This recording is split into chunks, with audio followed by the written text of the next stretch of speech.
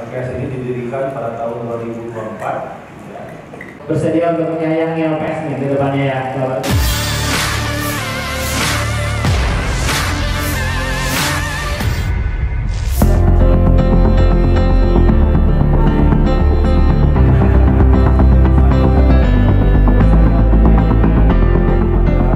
Lembaga penjamin simpanan yang disingkat LPS memperkuat layanannya bagi nasabah perbankan di kawasan Sulawesi, Maluku, dan Papua dengan menghadirkan kantor perwakilan wilayah 3 di kota Makassar.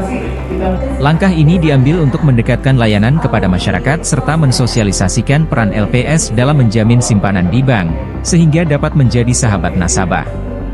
Direktur Eksekutif Keuangan LPS, Danu Febrianto, mengungkapkan bahwa pembukaan kantor baru ini sejalan dengan penerbitan Undang-Undang Nomor 4 Tahun 2023 tentang Pengembangan dan Penguatan Sektor Keuangan, UP2SK.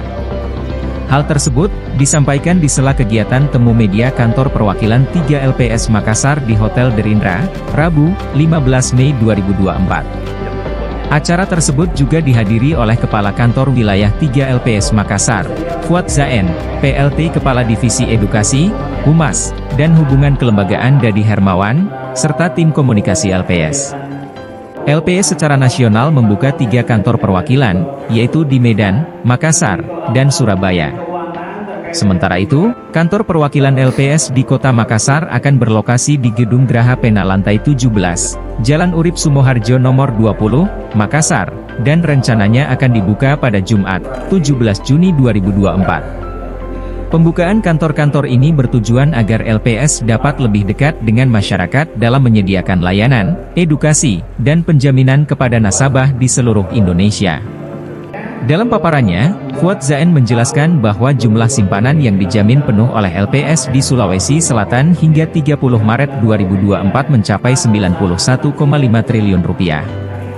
Namun, ada 0,03 persen simpanan di Sulawesi Selatan yang tidak dijamin LPS. Sesuai regulasi batasan maksimal tabungan per nasabah perban yang dijamin LPS, yaitu 2 miliar rupiah. Secara nasional, LPS menjamin 585,94 juta rekening, yang merupakan 99,94 persen dari total rekening di Indonesia. Capaian ini terbilang tinggi karena telah melampaui target ULPS yang minimal menjamin 90 persen dari total deposan. Dengan kehadiran kantor perwakilan di Makassar, LPS berharap dapat memberikan pelayanan yang lebih baik dan memastikan setiap nasabah di kawasan Sulawesi, Maluku, dan Papua merasa aman dan terlindungi dalam menyimpan dana mereka di bank.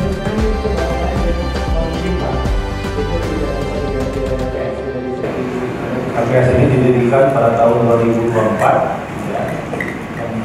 beroperasi mulai 2000 2004 ya. 2004 dan mulai beroperasi 2005 ya.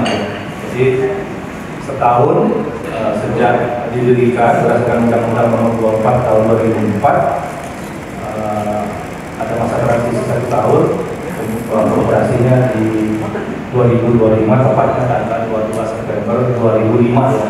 2005 bukan 2025 2005 di bambu gitu ya terus hanyut ke bawah banjir mohon izin pak.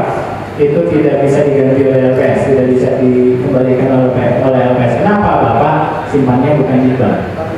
Tapi kalau kemudian uh, apa uh, bank tempat bapak tersebut itu uh, bangkrut gitu ya kalau bahasa bahasa awamnya gitu ya bangkrut ditutup LPS dilikuidasi oleh LPS uang bapak bisa kembali Download Tribun X sekarang. Menghadirkan lokal menjadi Indonesia.